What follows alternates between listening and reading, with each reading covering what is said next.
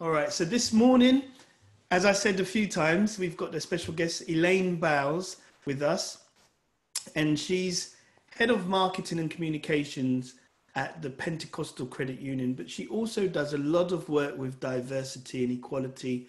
She's contributed to a lot of experiences, and um, today she's going to talk to us. She's going to talk to us about Black Lives Matter and the Black Pound. And, and so, really excited to hear from her. Um, so, can we do what we do best and give her some hand claps and just welcome Elaine to our Wellbeing Cafe? Um, thank you, Elaine, for joining us. And um, Elaine, if I could just ask you to introduce yourself and you know um, then you could just present for 20 minutes and then we could do some q&a around what you've presented that would be really appreciated. If you take slightly longer than 20 minutes don't think you shouldn't bring over your point but 20 25 minutes max. Thank you elaine. Good morning. Thank you very much. Thank you very much mike. Good morning and good morning everyone. Um, and so first of all thank you for the opportunity to um, to just to speak to you this morning. Actually, I am going to talk about Black Lives Matter and the Black Pound, but I'm also going to be talking about the Pentecostal Credit Union as a reality for us today, um, and in terms of my uh, my experience, why that is in, why the Pentecostal Credit Union is important to this whole scenario, really. So that's what I'm going to do. So you asked me to tell you a bit a bit about myself. So Yes, I am the head of marketing and communications at PCU, um, and I have been in that organisation for about 10 years now. Um, and I've been doing marketing. I didn't join when I joined the credit union. I wasn't. I didn't join to do marketing actually, um, but I started when the, the role that I, you know, that I came there to do was over. Um, the chair said to me, um, "Oh, Elaine," he said, "Oh, we need someone to do some marketing. I think you should do that. And uh, that was it. I said, actually, people get paid a lot of money to do marketing. You know, these are professional people who know all about this. And, you know, you just asked me just to do it and stuff. So, you know, uh, that's, that's how I got into it, really. I was just thrown into it by, um, by the chair, but it's been really rewarding to be, to have been doing that for the past five years for PCU. And we've come a long way, actually on our marketing journey, but and we've got a very, very, very, very long. Well, it never ends, does it? Marketing, it's never over, um, but we're still learning um, a lot um, about that. So, um, and on that front, I would say that we are on all the social, well, the main social media platforms. You can find us on Facebook, on Instagram, on Twitter, and on LinkedIn.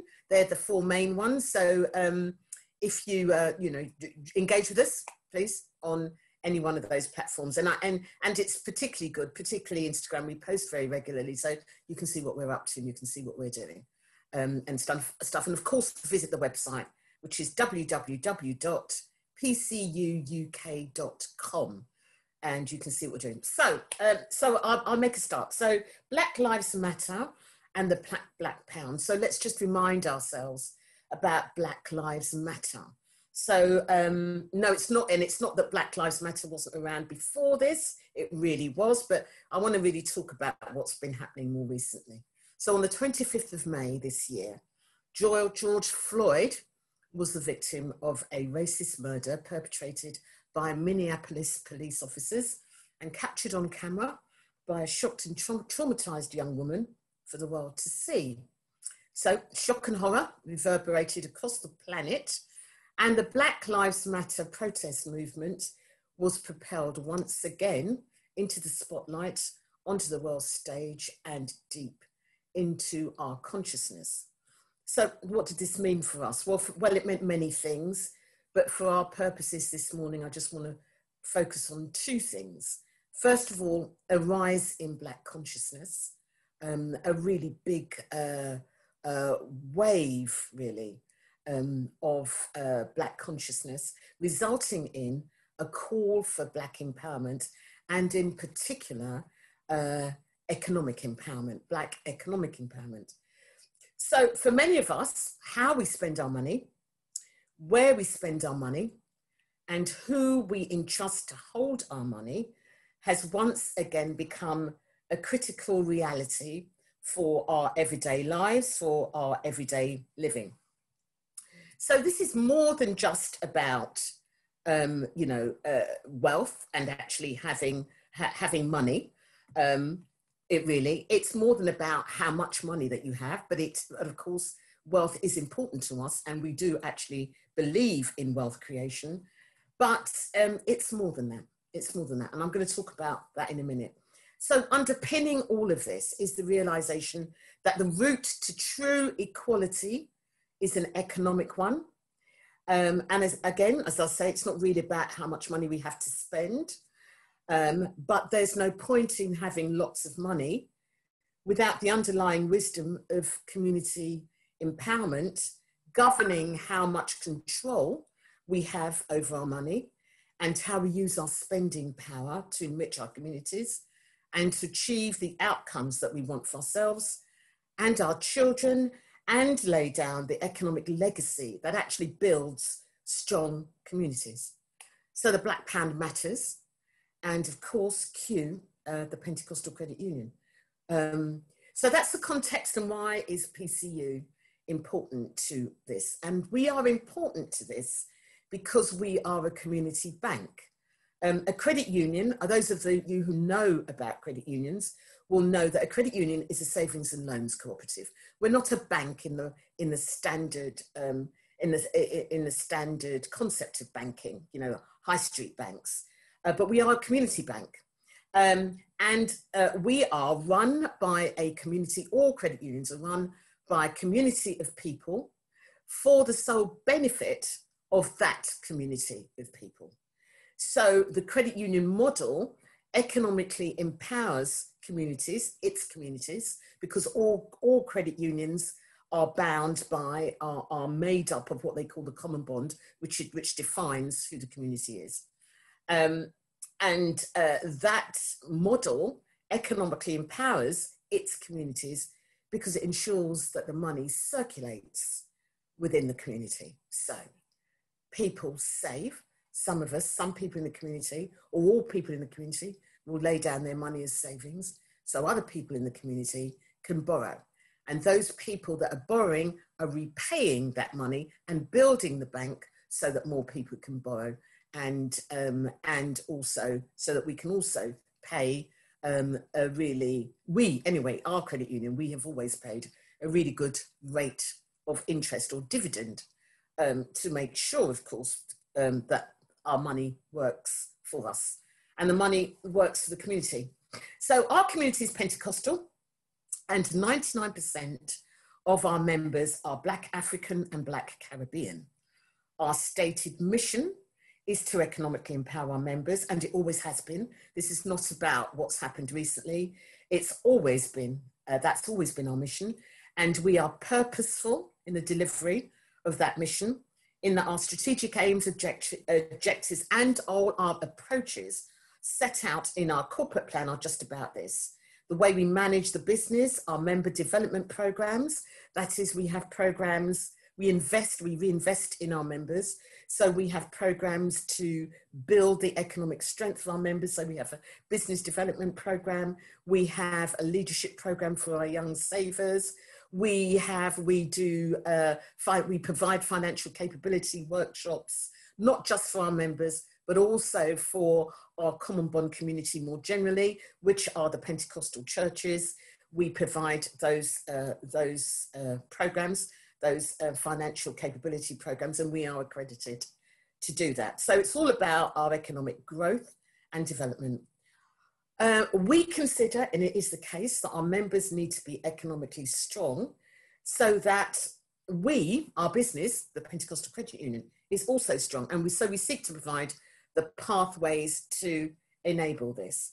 Now, I'm, I'm going to talk about the Pentecostal Credit Union now. I'm going to tell you the story, our story, which is very important, very powerful, and it really is um, very much about black empowerment um, and that's why uh, uh, you know and and and and wealth creation and the development of the black pound um, and that's why we're in business So I'm just going to tell you this story because it is important. So in 1955, a 17 year old boy arrived here from Jamaica. He was an Anglican. In Jamaica, he attended an, the Anglican church. And so one, one Sunday, he attended his local Anglican church service. At the end of the service, the vicar thanked him for coming, but asked him not to return. 30 years later, he was returning to Anglican churches to buy their buildings. Now, in that sentence is everything about the Pentecostal Credit Union. That boy uh, was Carmel Jones, and he is the founder of the Pentecostal Credit Union.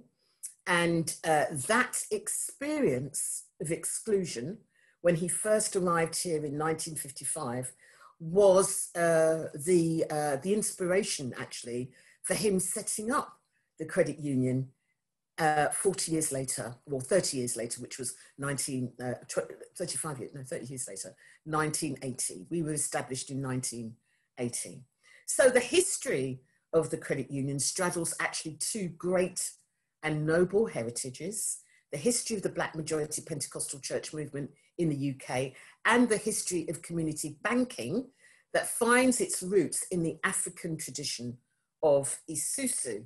Some of you may know that Isusu describes the traditional forms of cooperation, in African societies in West Africa, in East Africa, in South Africa. There are methods of Isusu all across um, the um, African continent, and it is as old as the hills. It is traditional, um, and it, it, it, happens where groups of individuals um, contribute to informal savings and credit associations for their mutual benefit. So it's about people helping people. Isusu practices migrated to the Caribbean at the time of the transatlantic slave trade. Um, so in Anglophile Caribbean, you'll find in Jamaica, the practice today is called partner, while in other Caribbean islands, it might be called, you might know it as syndicate or box hand or susu. What they all have in common is these is this informal, um, outside of the formal legal and financial systems, uh, a community banking system operating that functions solely solely on allegiance, mutual trust, and the integrity of the participants. Now, I really want to stress this. It is really important that we understand that this is how these systems operated for hundreds of years extremely successfully with very, very little, very few people falling out in terms of defaulting because of the mutual trust, the integrity, and the participants. Now, I'm going to tell you a bit more, that, I'm going to move on to talk about the credit union. But one of the things that I can say about the Pentecostal credit union is because of this tradition of Isusu that underpins um, certainly our credit union, because we are a Caribbean, African Caribbean um, credit union, we have one of the lowest rates of default, one of the lowest rates of um, people not repaying their loans. And in fact, we didn't even do credit checks until a few years ago. We had no need to do credit checks a few years ago. The whole issue of integrity and trust, mutual trust, which actually currently, you know, our current regulators don't really understand that you know they just don't understand that when you say say that's how we operated um, um, but it was very important to us and it worked and it, and it does work so windrush migrant, migrants brought the practice of the susu to the uk and it flourished here and it flourished here because of the financial exclusion that they were experiencing through the discriminatory practices of the UK banks at the time. So Partner, Susu, etc., assisted many people of the Windrush era with making major purchases, such as funding mortgages, paying the travel and other costs of family members joining them here. Um, but of course, the Susu wasn't the only community banking system that Caribbean Windrush migrants brought to the UK. Now, the Association of British Credit Unions and other institutions, great credit union institutions, will not tell you this if you ask them, where did the credit union uh, concept come from? They will tell you something about um, a German experiment in the 1830s and give you the name of this German who did these things in, uh, in, in Germany. Actually, it is, as I said, as old as the hilt, it is an African tradition. And actually, the first credit union in this country was the Hornsey Cooperative, which was established in 1964 in North London by Caribbean families. So the first credit union in the UK was a Caribbean credit union bought here by Windrush migrants. That credit union is now the foundation of what is London Capital Credit Union. So London Capital Credit Union, there are a few big London credit unions. London Capital is one of them. It came from uh, Hornsey Cooperative. Um, now, credit unions, those of you who know a bit about credit unions and know about credit unions in the Caribbean in particular, are um, they, they, they are massive in the Caribbean. They are one of the most popular forms of banking um, in the Caribbean. And according to the World Council of Credit Unions, the countries with the highest percentage of credit union members in the economically active population were Barbados, Grenada, Trinidad, Trinidad and Tobago, Belize, St. Lucia, St. Kitts and Nevis, Jamaica, Antigua and, Barb- uh, and Barbuda, and it goes on. So the credit union um, representation here is overwhelming. Um, Ireland also has a very, very high uh, percentage of people who are in credit unions. So the Windrush migrants brought the concept of community banking to the UK in the two forms of credit unions and Isusu traditions. But at the same time that Pardner was flourishing here, so was the growth of the black majority Pentecostal church. These two things went hand in hand. So Carmel Jones' experience in that Anglican church in 1955 actually was not unique to him. Many Windrush migrants had the same experiences. And some were discouraged, discouraged, from, discouraged from worshipping altogether, altogether. But he and others like him joined the growing Black Pentecostal faith groups. These began as small groups of people who would meet in their living rooms during the 1950s and early 60s. When he was, when he was asked not to return to that church, he went to join a, uh, a, a, group that was meeting in their church hall, in their, in, their, in their living room. They graduated from that, their living room, to renting church halls. And Carmel Jones attended the Ch- Calvary Church of God in Christ that was meeting in a church hall in Sussex Road in Brixton. Um, so um, by the 1960s, by the 1970s, those Pentecostal ministries based in those church halls were flourishing and had grown and had outgrown their church halls and also had amassed enough finance money to purchase their, their buildings. And at the same time, the Anglican Church, UK Anglican Church, was declining. Um, and they were experiencing this severe decline in their congregations, and they were selling, mostly through leases, their buildings. So it appeared to be a match in heaven, really. The Pentecostal uh, church groups that were in church halls needed bigger buildings. They wanted to buy them, they had their money to buy them, and the Church of England was selling them.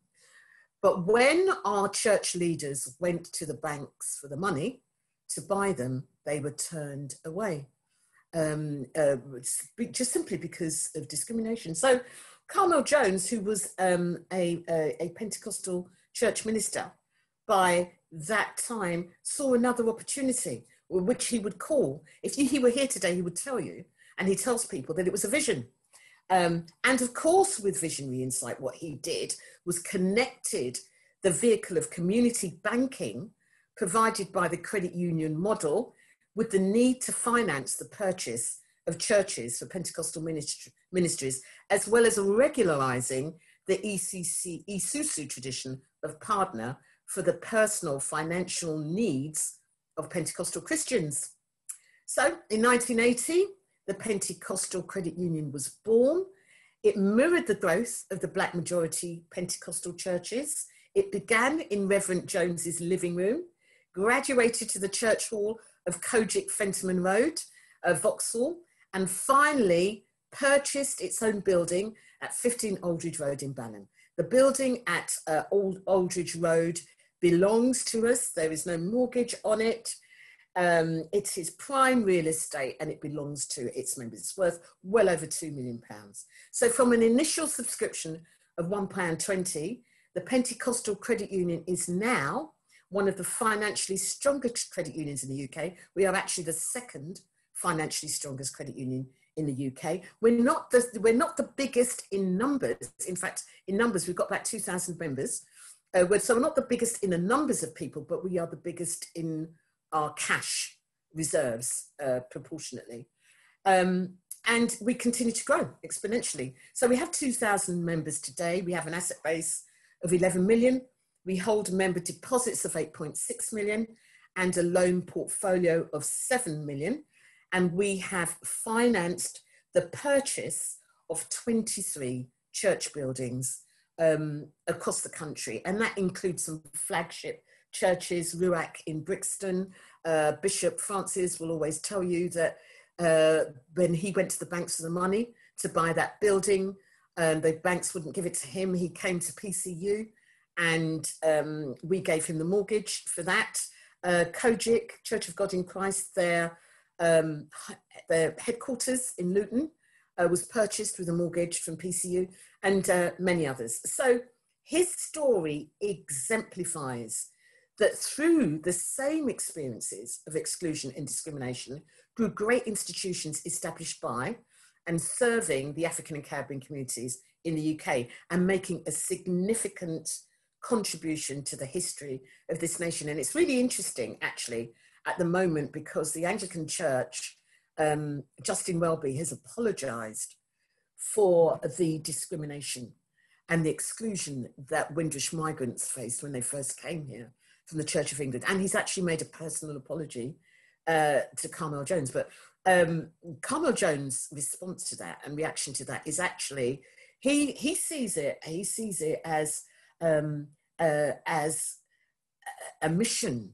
as something that was God that was that was that was that was given to him um, as a gift from God that experience of exclusion because had it not happened the Pentecostal Credit Union wouldn't be here today and also he wouldn't have met his wife because when he left to go to that church that's where he met his wife who's his wife today. She'd just come from Jamaica. She came in 1956. They got married in 1957. So he, when he went to that church group, that's where he met her. So as far as he's concerned, it was a wonderful experience and he is grateful for it. And he has actually told the Archbishop of Canterbury that that is, uh, that's his story when, um, when Justin Welby apologized to him. So just to tell you a bit, a bit more about us as the Pentecostal Credit Union, and then I will stop.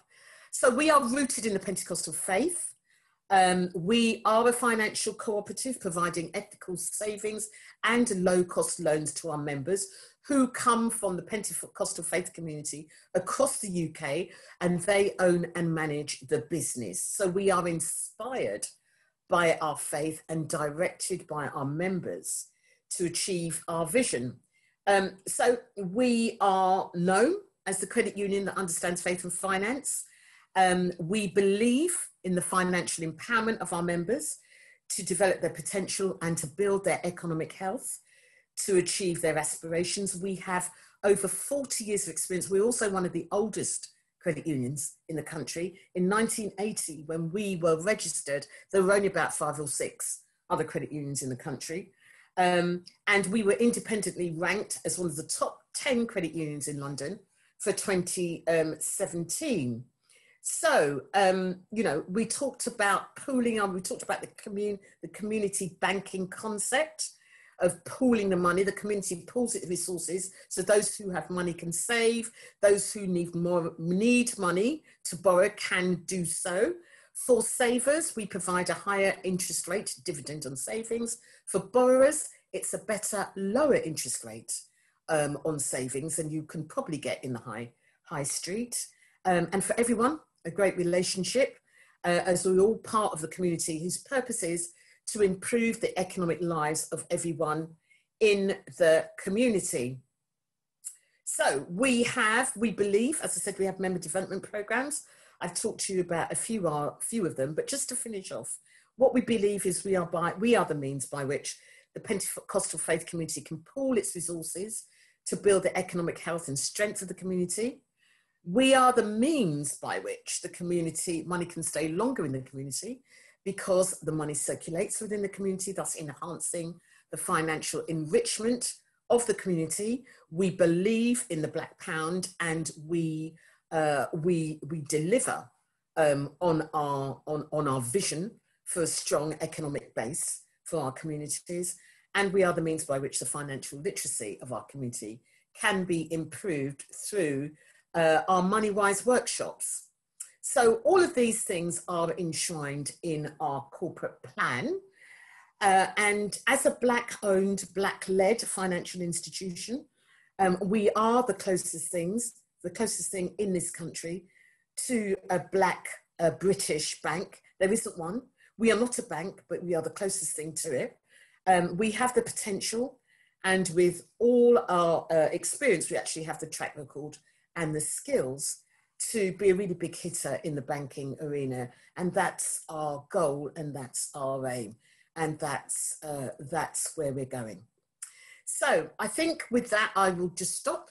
I'll stop and uh, just uh, put it out for people to ask any questions or um, any comments. Brilliant. Thank you, Elaine. Um, brilliant presentation and very articulate. We get a really good picture. Just a question Do you have to be Pentecostal to become a member? Right. Now, this is very interesting. Uh, yes, of course, but it's, it's about how you define Pentecostal. And this is really important. Um, it's not about the name that goes across the label of the church, really. We define uh, Pentecostal uh, in relation to the expression of worship. Um, and in, in that sense, there are many churches that are called Baptist, that are called Methodist, even Anglican, that are, and of course, evangelical churches that are members uh, of the Pentecostal Credit Union because their expression of worship is such in that, you know, they believe in the manifestation of the Spirit, of the Holy Spirit, in, um, you know, in, in laying on of hands and speaking in tongues um, and various things like that. And once that's your expression of worship, however you do it, then as far as we're concerned, that's Pentecostal. So we don't put a label on anyone. You know, uh, if you're a Baptist, and that's how, and there are many Baptist churches that are more Pentecostal than even some Pentecostal churches, those, as you all know, you know. So, yeah. Okay. And then, second question um, is compensation schemes. Are you governed by those schemes? Oh yes, money yes. safe in yes. I'm, I'm, sorry. I should. Why didn't I tell you that? Of course, we are a financial institution. We are regulated by the Financial Conduct Authority and the Prudential Regulation Authority. And your money, up to £85,000 of your money, is protected by the Financial Services Compensation Scheme, just as with any high street bank or building society yes, we are, uh, we are regulated. Fantastic. Thank you. Thank you, Elaine. Um, the final question, because I want to open up to everyone else, is around the power of this black pound. um, with times like this, how important is saving? I mean, if we, if we're, some of us are literally literally hand to mouth. Some of us are in food banks. Some of us are struggling. Um, how how do you sort of present the value of saving or investing or putting something away even some my, my, my barber said to me don't wait for the big money to come to put some away he was talking about little and often. So is it how do we how do you manage that process where people are struggling and you're incentivizing savings? Um, so, so first of all, I'll answer the first question about how important this question is saving, and then I'll come to the second one about the second issue is about you know when people are struggling, how do they save really? So, uh, yes, you know what I'm going to say. Saving is incredibly important. I'm going to say that, and we all know that. Um, the, the credit union concept, when you join a credit union, what you actually are committing to do is to save, actually. Um, the credit union couldn't operate if people didn't save. There wouldn't be any money for it. And in fact, the credit unions that have been least successful um, and that don't have money are credit unions where people do not save or there's not enough saving. For the credit union model to work, there has to be people, there have to be people investing so that others can take money out of it. So um, we have to have money for a rainy day. We need it. Um, and in this particular time of uncertainty around money, you know, we are, uh, we are, we just ran, we just, uh, we just ran a, um, a webinar, webinar about recession and black communities and how it's going to affect black communities. Um, and we had the minister, the Treasury Minister, come and address us at that. It was part of the panel. Um, and we are, and we're going to be, um, we, we, we, we're in it at the moment, and it's going to get worse, um, in the deepest recession, the deepest recession that um, in, recent, in recent history. And so, because of COVID 19. So, having some money uh, that we can fall, that we can, um, that, that we can use, that we can fall back on is really important. The other thing that we always say about savings in our workshops are actually having some money is really empowering, actually. It's not just that we need it for a rainy day, but actually it is very empowering to know that if anything happens, you don't need to lean on anybody else. You can fix it, you can sort it yourself. So it's a, a very empowering and a very independent thing. And we are all about empowering our members and getting our members to be uh, to be independent. So saving is very important. And your Barbara's right little and often. The important thing is, and what we want people to do is to um, get a habit of saving. Just get the habit of saving. It, really doesn't matter um, fundamentally how much you do, really. Um, you need to be sensible. If you can, you can, you should do as much as you can. But it, effectively, what's more important is that you do it regularly. So we say set up standing order for regular for regular savings. In the credit union, the credit union, all credit unions, the, the credit union model has a um, um, has a kind of mantra, which is a save as you borrow mantra, really. And what we say to our members is we encourage our members to save. And if they take a loan, if they need to take a loan, we say to them, right, okay, you're now repaying your loan, but still continue to save. So put some money towards your loan, but also continue to save at the same time. At the end, when your loan is paid off, you will have more money in your savings. And over the long term, it reduces the need to borrow because you do have that savings, you know, that savings, um, uh, that savings there. Um, to answer the question about how easy it is to save when you are so desperately financially challenged, well, actually, in, in some cases, it's not possible to do that. And that is the truth.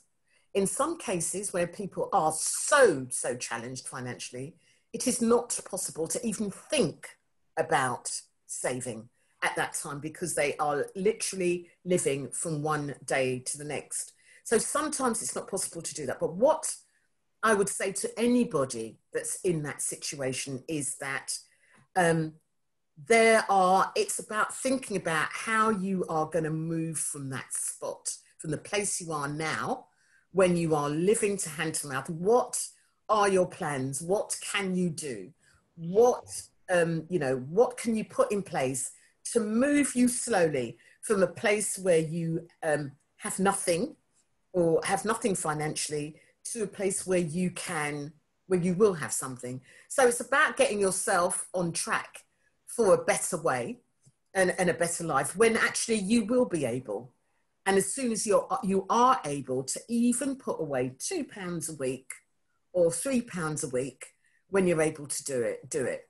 But yeah, I accept and acknowledge that for some people, um, the situation is such that actually you can't even think about it can't even think about it. But even so, you know, you would be surprised there are some people in those circumstances that do think about it and do still put something away. And if you can put something away, put it away.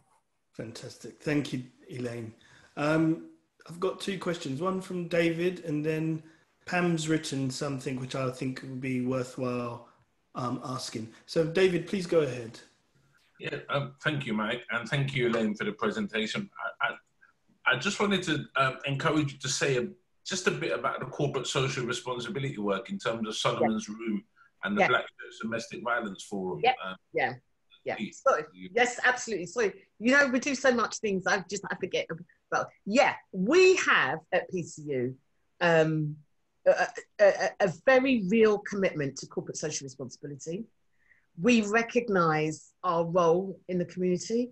Uh, as I said, we are the closest thing to, that there is to a black bank in the community. We know uh, about the uh, about because we're part of the community. We are part of the struggles that our communities have, and so um, we have a program where we put a percentage of our profits that go towards things that have got nothing to do with the business itself as such. Our member development programs are around the business, they're for the business, but things that we know that are not being supported um, generally outside of the community that need our support, and that's corporate social responsibility.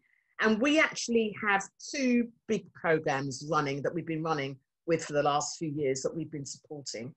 One is um, a food program, a food hamper program that's run by the New Testament Assembly. We partner with them in um, in uh, purchasing, buying the contents, and delivering food hampers. And actually, our young people, we have a youth shadow board. That's one of our member development programs. We have a leadership program for our young people. They go out there, and also some of our directors go every year to help with the distribution, the distribution and packing of those.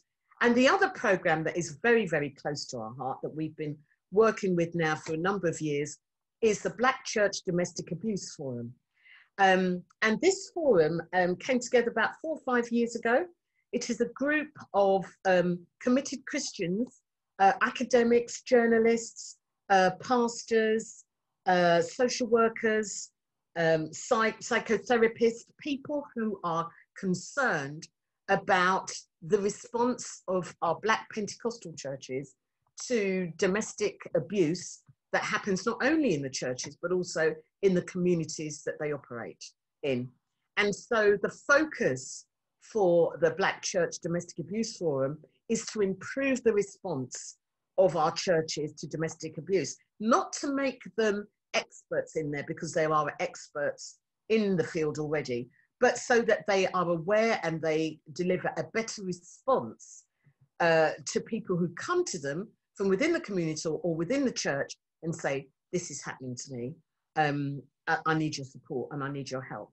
And so, what we have done um, and what we've supported the forum to do is to develop a toolkit, which is essentially a um, essentially a, a, a guidance document about a how to document what you do, accompanied with some hands on training, development, and support. That's the toolkit to churches, to all churches, not, not just to our member churches, to, but to all black led churches, uh, black majority churches who want to take advantage advantage of that. So, um, and that, that, that's really important to us. And that's because um, the issue, it's really interesting actually, because the issue of domestic violence, as a credit union, as an organisation providing finances to communities and to families, actually the issue of uh, domestic violence is ever present with us. We know about it. People come to us for money when they need to get away from their relationships, when they need to rebuild their relationships, for all sorts of things. We know about the damage it causes to families and it causes to communities. It's a very real poison. And um, no one else, in terms of the black churches getting this support, there weren't any other, um, you know, products, uh, organizations providing the kind of support that the black churches needed, that the Black Church Domestic Abuse Forum uh, uh, could provide. It's not that there weren't other organizations working with domestic abuse within church groups. There were. Restored is doing a wonderful job. And in fact, we've, um, we've uh, worked with Restored in developing our, our um, toolkit, but they weren't getting to black churches. Thank you, um, Elaine. Some great initiatives there. Thanks, David. Great question. Um, Pam, you've posed a question which I think is a really interesting one. May have been partially answered with what Elaine has said, but just wondering if you could add to um, the debate your question, Pam Thompson. I was asking what work has been done to encourage black businesses and black majority churches to partner with um, the, the credit union in in that there is the potential of wanting to go into the, down the banking route? Yeah, are you, Pam, are you asking about the credit union's work with black businesses or black churches and black businesses, or is that is that what you're asking? The work, uh, sorry, the route in terms of going down the bank, because I think it, you know that would be fantastic um, to get the first black bank in in the UK. Right. brilliant. Yeah. Um, and and I was um, just thinking about the drive for uh, to, to, encourage black businesses and um, black majority churches. I know you're already working with them, but I, I, I, just wanted to know whether or not you had a strategy in terms of encouraging more and more of those um, organizations or businesses to, to, to, join with you and partner with you. Yes. So so so yes. Um, so let me answer the first question. In terms of us becoming a bank, yes, that is the vision. Um, and we're actually about five or 10 years away from it, actually. Um, it's, it's definitely within sight. I mean, uh, um, you know, to become a bank in this country requires a great, great, great, great, great deal of investment and stuff. But um, you know, we we we'll get there. We can see it. It's on our it's it's in sight. So uh, five to ten years, our chief executive reckons that we'll be there, and that is the vision for us. So yes, Secondly, around businesses and um, uh, around businesses and working with the credit union and what we're doing around there. Now, we believe 100% that, as I said, the route to equality is an economic one, and business ownership is an absolute key aspect of that. And that's the reason why we have our business development program. As part what we last uh, year before last, it was 2018. We um, we hosted an event that we called Solomon's Room. And uh, Solomon's Room was a bit like Dragon's Den. It was a style on this kind of Dragon's Den, where we um, gave our first six graduates from our business development program the opportunity to pitch their business um, ideas, uh, their business plans actually, to four um, extremely wealthy um, entrepreneurs that are in our churches. So very successful business owners um, in our churches sat as what we called our Solomons. Um, and these six pitched their ideas to them. Now, the idea wasn't that they actually got money. Actually, one or two of them did, I think, but um, it wasn't about money. It was about mentoring and support because they weren't really investment ready at that time because they'd just done that year's program, but they were ready to get support from these Solomons. But the reason for doing that, that was not we, we you know, we we we had this big event in um, in in in the West End at the Royal Society. Um, but actually, we did it because we had a message that we wanted to give to the hundred or so uh, church leaders and pastors and influencers that we invited along to the event. And the message really was, it was given very, uh, very cogently by our chief executive, was actually that churches have a role to play in the uh, building economic development of our communities and the encouragement and building of entrepreneurship in the churches. And um, in his in his speech at the end, he he he um, told churches what he felt they could and should be doing to build this entrepreneurial spirit, um, uh, in terms of how they um, ran the ministries themselves and how they encouraged business owners um, in the church to um, you know to, to grow their business and to support other people to grow their businesses because it's so important to black communities generally. Now i don't know if you know this but uh, similar to what happens in the united states in our churches the level of entrepreneurship the spirit of entrepreneurship is far higher in churches, in our churches, than it is in Black communities generally. If you're looking for Black entrepreneurship, you will find them in the churches, they are full of people who are, some people might call it side hustles in some cases, you might call it that, but they're also small business owners. Um, you know, uh, people working in hospitality, people working grooming, barbers, hairdressers, uh, caterers, all of those things. And also, more importantly now, even in the gig economy, where they're working in self-employment, doing, you know, um, using their skills uh, in self-employment, it is brimming in our churches. And it's really to understand, and we are on a mission actually, and we are doing things. We've we've got a piece of uh, we, we've made uh, we've got proposals for some research that we want to do, and we're looking for people to support us in doing this research to actually recognise the power of the churches of our black churches in our communities to actually help to build the economic strength of the communities as a whole. They are extremely powerful. They are institutions. They are extremely influential. And we do believe in them doing that. And we are encouraging them to do that. And yes, we are doing something about it. Brilliant. Thank you. Great question, Pam. Um, Elaine, do you teach financial literacy to children? Yes. Ideally, we would like to talk about how you could um, set out some sort of route map for early years, because if yes. you get them started in the very early stages, then it's likely to continue. So, yeah. what do you do on that front? Yeah, we do. And that's what our youth Shadowboard actually is all about. We have a leadership development program um, of 14 of our, that consists of 14 of our young savers, aged from the age of 11 to 18, uh, called the Youth Shadow Board. And we, it's a leadership development program. So we expect to see these young people as leaders in our communities, leaders in our churches, leaders in our communities, leaders in business um, going forward. And um, as part of their leadership program, we teach them governance and citizenship. So they are a board. We call them a board. We call them a youth shadow board because that's exactly what they are. They are a shadow of the, the Pentecostal Credit Union's board. They operate as a board. They've elected a chair, a vice chair, um, a secretary, and a treasurer.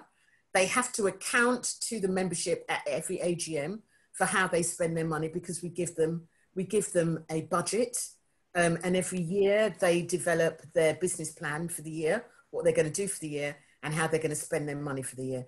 And what we do as part of their training is we train them. The first thing we train them in was financial literacy.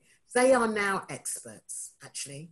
And we have been, up to this point, I, we were doing financial literacy capability training to churches, to young people, and to adults. Now, our youth shadow board, they are now training, they're now going out and developing, delivering financial literacy training to their peers, other young people in churches. And they've joined with, we do a lot of work with, um, in the Black Country, Cassius Francis, Wesleyan Holiness Church have got a, uh, they do a lot of work with young people. We've been doing lots of joint work with our youth shadow board and their young people have been doing work. And we've been going to churches um, and do it running MoneyWise. Oh, our young people have been running MoneyWise workshops with other young people. Um, been, they've been doing that now for about 18, 18 months, two years. I used to do it, now they do it because they've been taught to do it. They are so proficient in um, handling money and understanding about money because we, we've taught them about money. Well, um, I must say, Elaine, I was quite impressed. Um, a few months ago now, I went down to visit a centre in Croydon, and you, your team was running oh, a the, training yeah. session for young teenagers, and it was fantastic teaching them financial literacy. So, what about products for parents? Is there something specific for parents encouraging young savers to save? No, we don't have we don't have a specific program for parents as such. Um, the the only other programs we have is for those older, those of our adult members, I said, who want to do business, who want to do business, but um, we don't have a parent a parents program. No, we don't. I mean, what we do have, we have loans for parents who want to need to uh, need to finance school uniforms or school mm. fees um, and things like that. But no, we don't have a particular program uh, for parents. as, as such, really. Although we have, uh, for the parents of the Youth Shadow Board, of course, we have a very, very close relationship uh, with uh, with those parents. Actually, they've been they've been brilliant in supporting the Youth Shadow Board, um, and of course, uh, the the Youth Shadow Board has been so successful. Um, you know, they're amazing young people. Actually, they have just raised.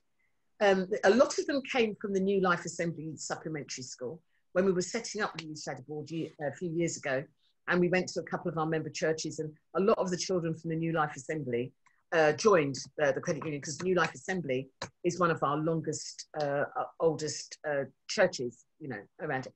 And um, the supplementary school um, is struggling at the moment.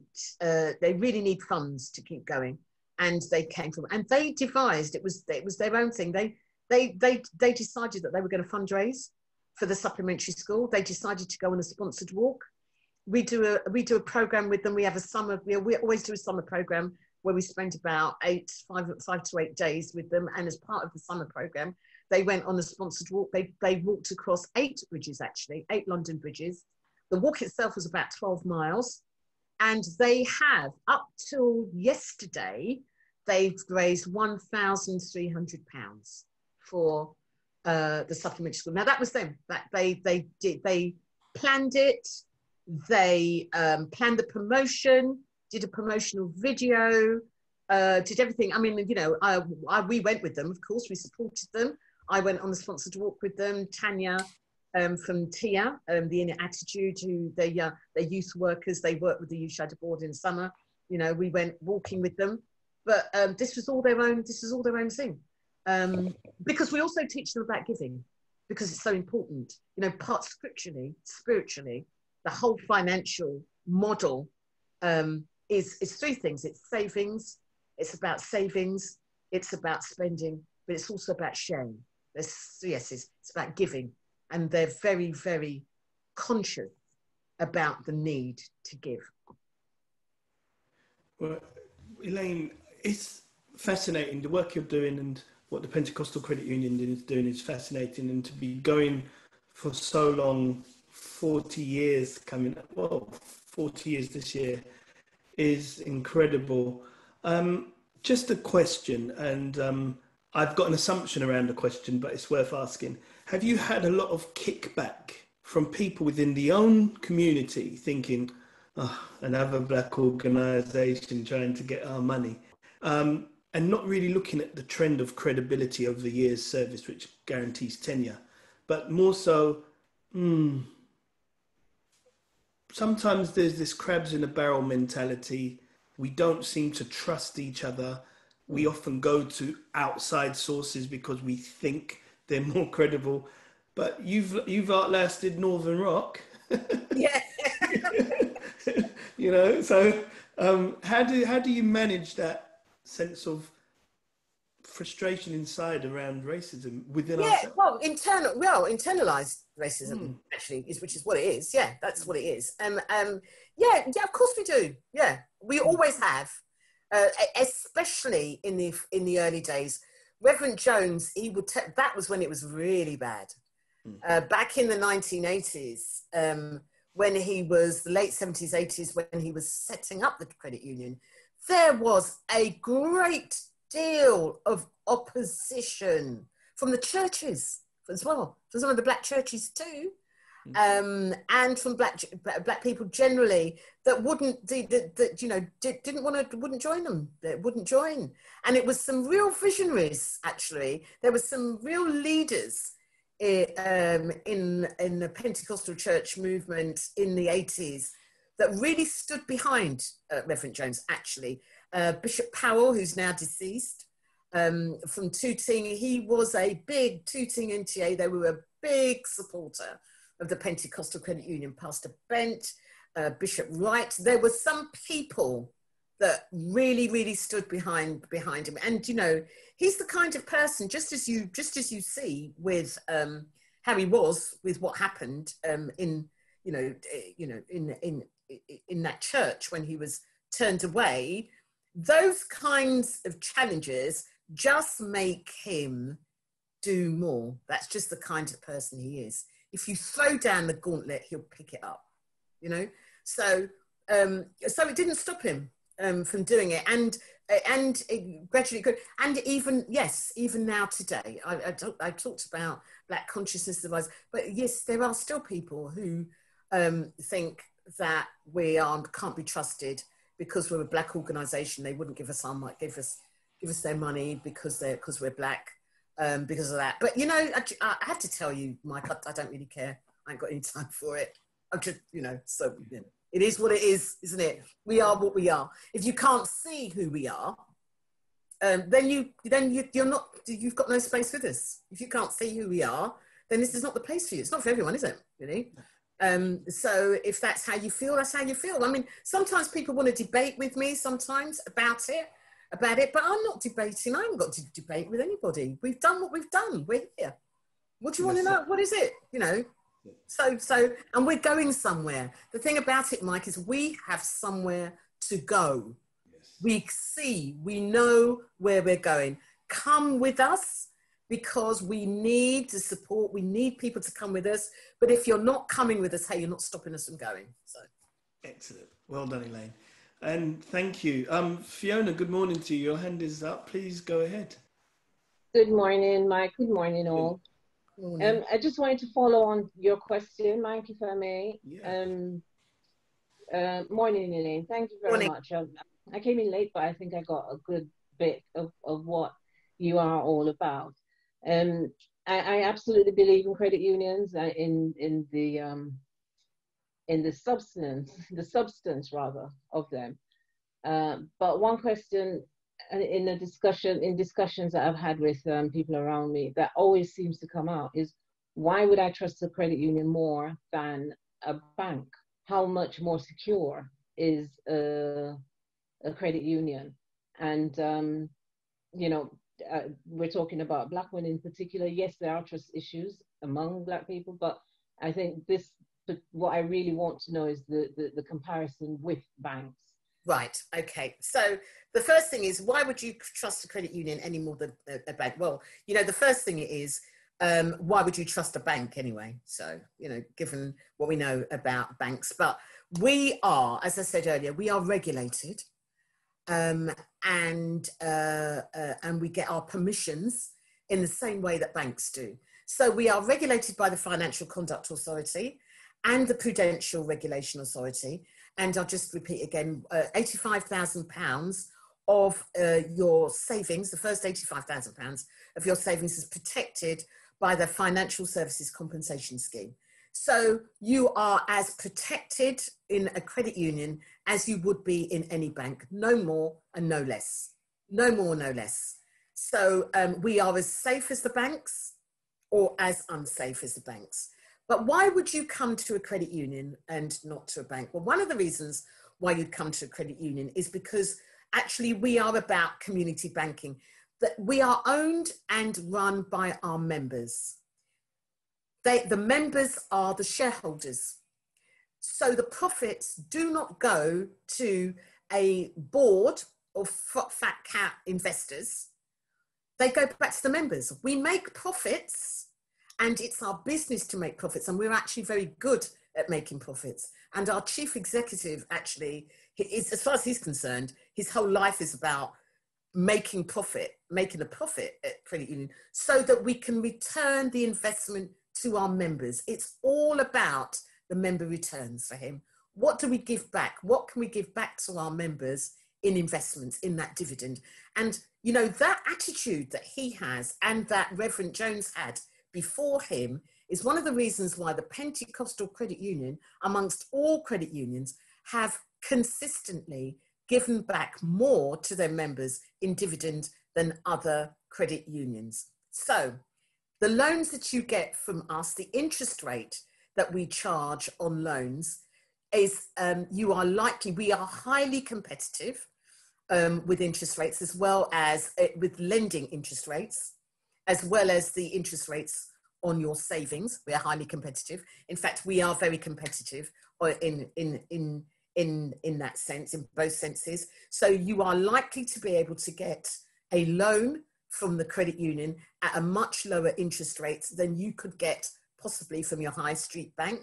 The other thing about all our services and our loans is that there are no fees, there are no hidden charges. We charge no fees. We charge no money for late payments. Sometimes with banks um, and building societies, if you pay your loan late, you have they, they charge you a fee for paying your loan late. We don't we don't we don't want you to pay your loan late, but we don't charge you any fees for doing it. So there are no fees and no hidden charges. Um, and the other thing that's very important about about us, about most credit unions, I think, but certainly important about us. And the, the banks used to operate like this many, many, many years ago, but they don't. Um, basically, if you apply for a loan from a bank, they will put you through a credit check, and the credit uh, referencing agency will come back with three things with a decline, with an accept, or with a refer. With the banks, if it comes back with a decline or with a refer, you will not get that loan. That's it. They won't talk to you about it. If you ask why you didn't get it, they will tell you to go and check your credit report. But they won't discuss it with you. There will be nothing else. That is the end. That's not the case, certainly not the case with our credit union. What, um, are, what the managers will do is if it comes back with a decline or a refer, they then go to look at the account. They will look at the account and they will look at the relationship that that account holder has with the credit union. Now, relationship doesn't mean how friendly you are, you are with me or with Ellie or with Shane. That's not it. It's about your relationship. It's about how you manage your account. It's about how you, how long you've been with the credit union and how you've been managing the account. And they will look at the account. And if, for instance, let's come back, you've come back with a credit score or a, a, a credit um, for, um, for the last, you know, six months or so, um, and you've been saving 50 pounds a month regularly, uh, you'll want to, your loan is asking to you repay, you're asking to pay the loan. Four person's been paying 50 pounds a month regularly anyway. We don't think it's such a risk. Um, we will uh, we will make this loan. So um, personal relationship and it's personal, uh, it's a person you not like to get, you won't get.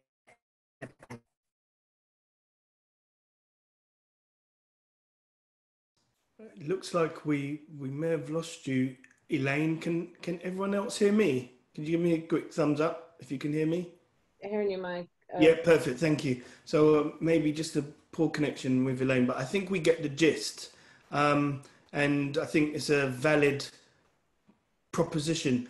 We have seven minutes left, and I reckon there's a bunch of people here who would potentially love to explore becoming part of the Pentecostal Credit Union. I'm just wondering, Elaine, if you're hopefully your your connection's back up. Yes, yeah, sorry, it, I'm um, sorry about that. That's yeah. okay. That's okay. It happens. Um, just wondering, what about the others who are not Pentecostal? How can what can we do? With if we can't engage with you, yeah, finding another. What, what, what's happening? It's well, unfair. The, the, the first thing, the first thing is this. The first thing I have to say is, as I say, we define, we deliberately actually uh, crafted the membership criteria so that we could capture as many people as we could. So the first thing is you don't actually have to be a member, you know, of the Pentecost. When I say a member, you know, actually a signed member, you know, having had the right hand of fellowship or, um, you know, in that sense of a church, of a Pentecostal church to attend. So we don't require membership. What we do require is attendance.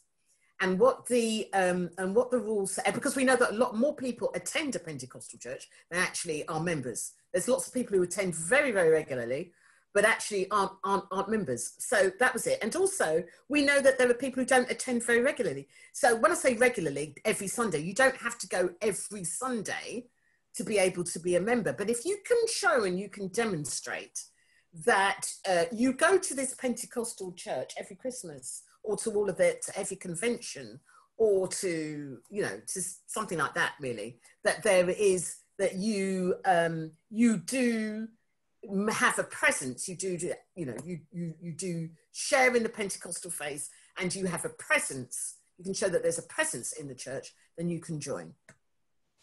So That's what we say is we define it very widely, as widely as we were able to.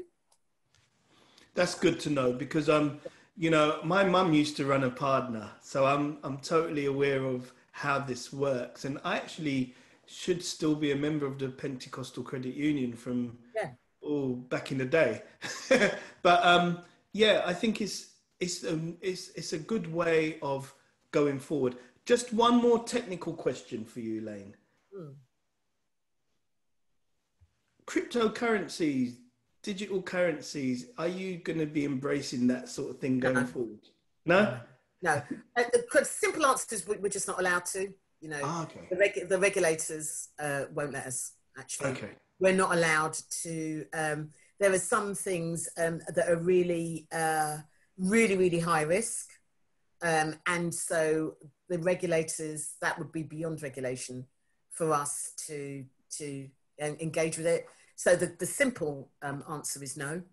Um, if the regulators change their mind around it, uh, then we'll see. But currently, no, we, are just not allowed.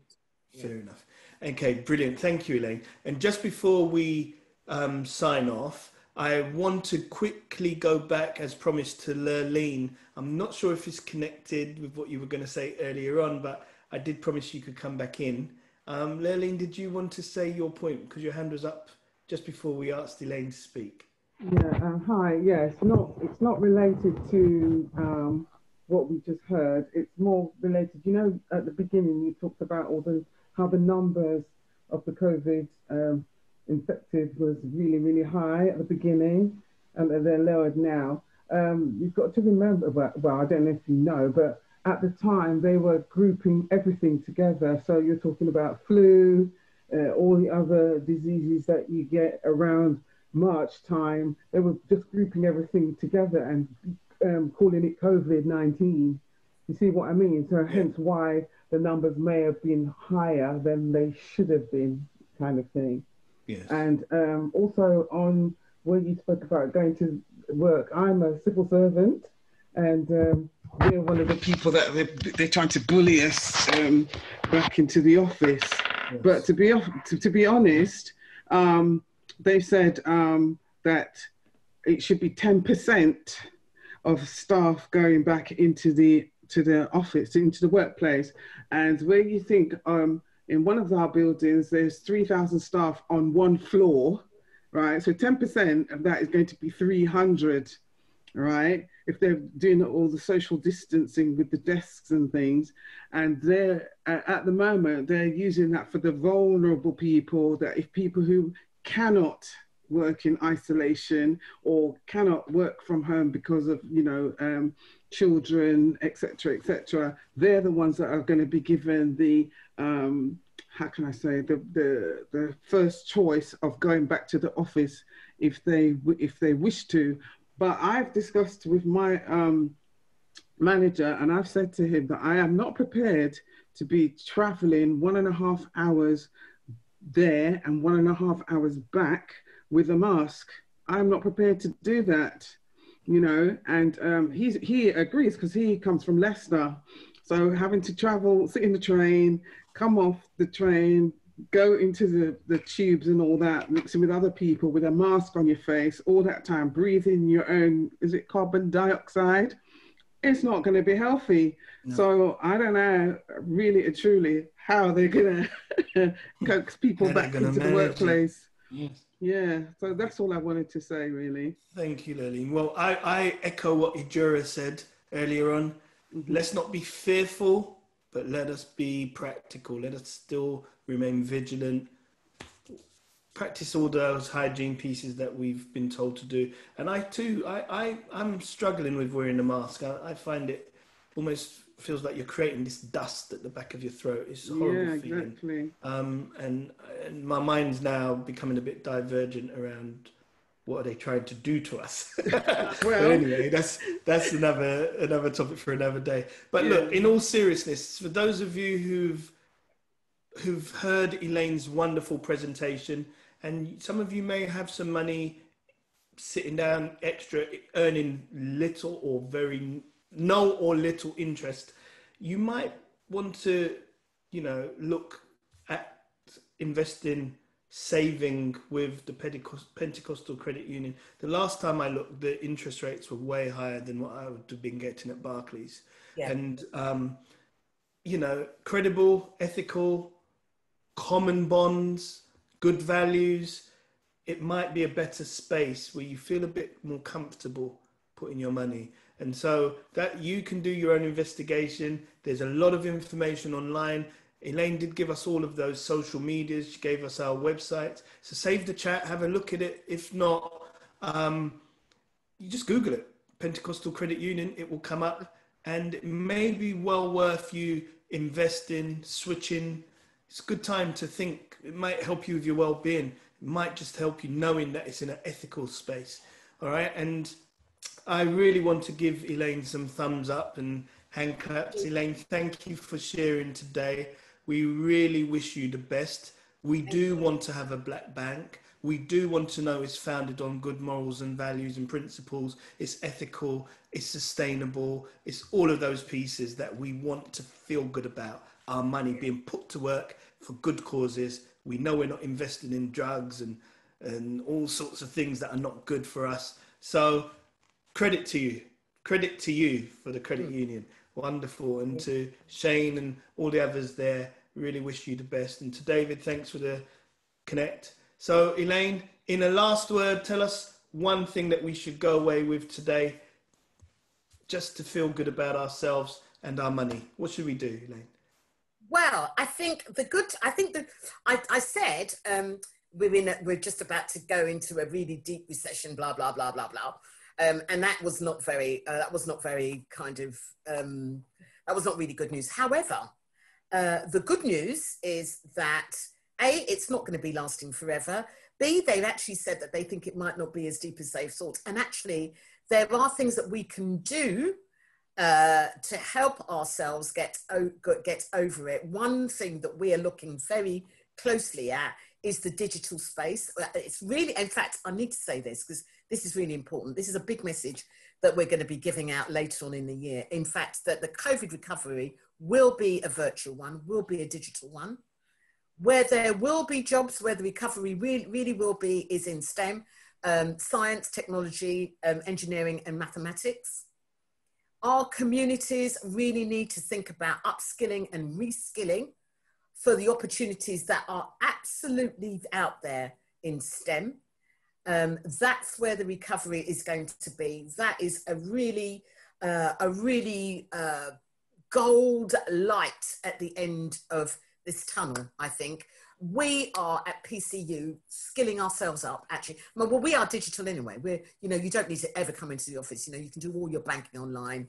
Uh, we're, all, we're in that space already. But we are, um, some of us are becoming skilled up as STEM coaches to encourage those in our Common Bond community to have learning, um, uh, learning hubs um, to become skilled and um, uh, to become certificated around uh, science, technology, um, uh, engineering and mathematics, really, the digital space. So um, yes, the, uh, the recession is here with us and some people are going to experience some uh, pretty low times because of it, uh, but also it won't last forever and the recovery will be a digital one. Thank you again, Elaine. Thank you for your contribution. And to everyone else, stay safe, think well, live well, be well, and I'll see you on Thursday. Take care of yourselves. Have a wonderful, peaceful day. Thank you, Elaine. Thank you. Thank you. Bye-bye. Bye.